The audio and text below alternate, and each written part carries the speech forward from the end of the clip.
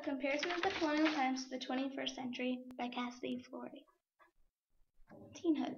When the Carolinas formed in 1653, they had a great start until 1730 when the colony split due to war and political issues. Teenhood. My mom, Bo, was born on March 21, 1966. She became a teenager on March 21, 1979, and an adult on March 21, 1986. I became a teenager on March 6, 2010. I will become an adult on March 6, 2016. Childhood location. There were three different regions in South Carolina. There was the Blue Ridge, the Piedmont, and the Coastal Plain. Coastal plain consisted of swampy areas, soft rocks, and good soil. The Piedmont was rich in rocks, hills, and mountains. The Blue Ridge was worn down with rocks and mountains. My mom lived in Exira, Iowa. Exira is located in southwest Iowa. It is a very hilly area and it's near Albert the Bull and the old plow stuck in a tree.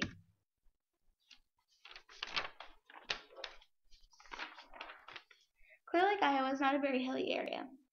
It has a lake which attracts many people, and the surf ballroom because of Buddy Holly. Girls didn't normally go to school because they were busy with housework and chores. Kids usually worked on the farm. Most families owned a slave, so kids didn't really have to do too much. My mom had many chores. She had to babysit every day, mow, clean the house, do dishes, and sometimes she had to do the laundry. Chores for me aren't too bad. I usually make my bed and pick up my room.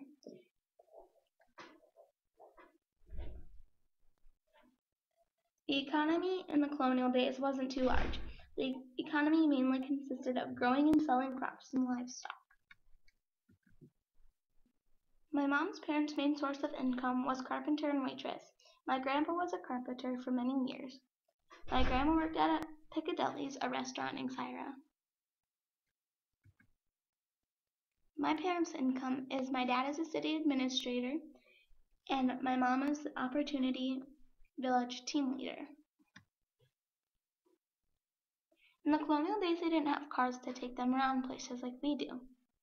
They got around by a wagon called a Conestoga wagon.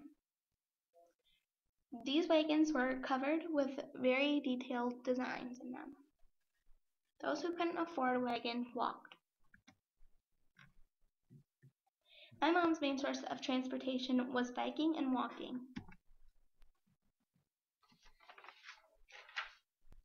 Most common transportation is a car. If you need to get very long distances, you would take a plane or a train. Uh, change. Most colonial girls had a large change by the time they turned 14. Many wealthy girls didn't get a choice of who they married.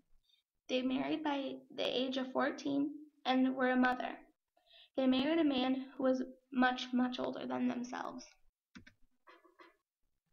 The biggest change for my mom was becoming a mother at the age of 18.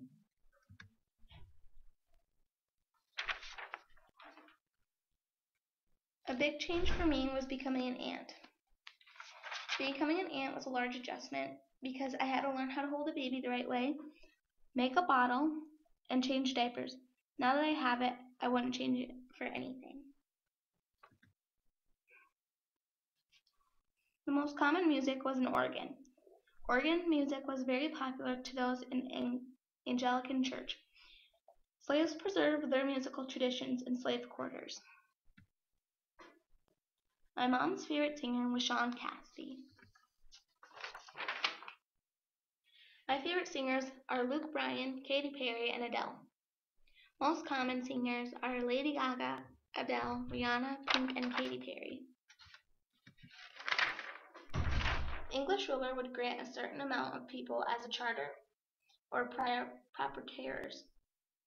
A charter is someone who is like a governor and helps control the colony. President Ronald Reagan was president in my mother's teenhood. Reagan was shot by John Hinckley. His vice president was George Bush. President Barack Obama took office in 2008. His vice president is Joe Biden. The crops grown were the most oftenly eaten. Corn, rice, pigs, and food from the ocean were the most popular to be eaten in colonial South Carolina. My mom's favorite meal when she was a teen was homemade pizza. My favorite food is a crispy chicken salad. The most common food is fast food. The most often dessert was Charleston sweet potato pie. Charleston sweet potato pie could be eaten as a dessert or a main dish. My mom's favorite dessert was has always been cherry refrigerated dessert.